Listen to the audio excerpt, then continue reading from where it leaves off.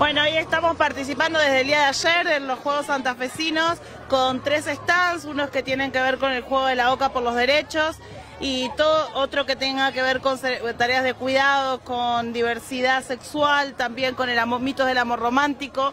Estamos trabajando con los varones jóvenes, las masculinidades y juegos que interpelan y todo bajo el, bajo el lema de Santa Fe se la juega por la igualdad, donde también los chicos y chicas están intercambiando pins, que es ese pin que tengo acá, eh, con otros que de Santa Fe Provincia Deportiva, y incorporando la perspectiva de género, de diversidad y la interseccionalidad también en este evento deportivo tan importante para la provincia de Santa Fe.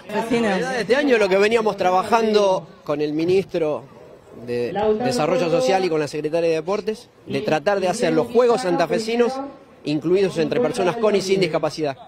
Esto fue una jornada importantísima porque lo que necesitamos es eso.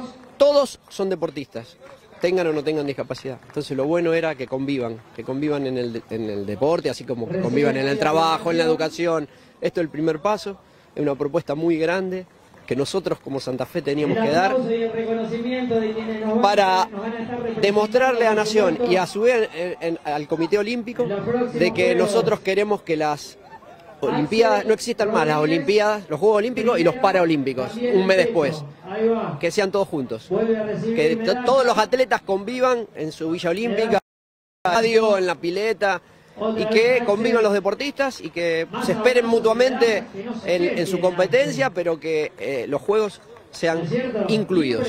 Si hablamos de inclusión, si no, no tenemos que hablar nunca más de inclusión. Yo creo que más de mil atletas con discapacidad han participado, no sé cuántas, pero bueno, un montón también de, sin discapacidad y la verdad que esto fue una jornada bárbara.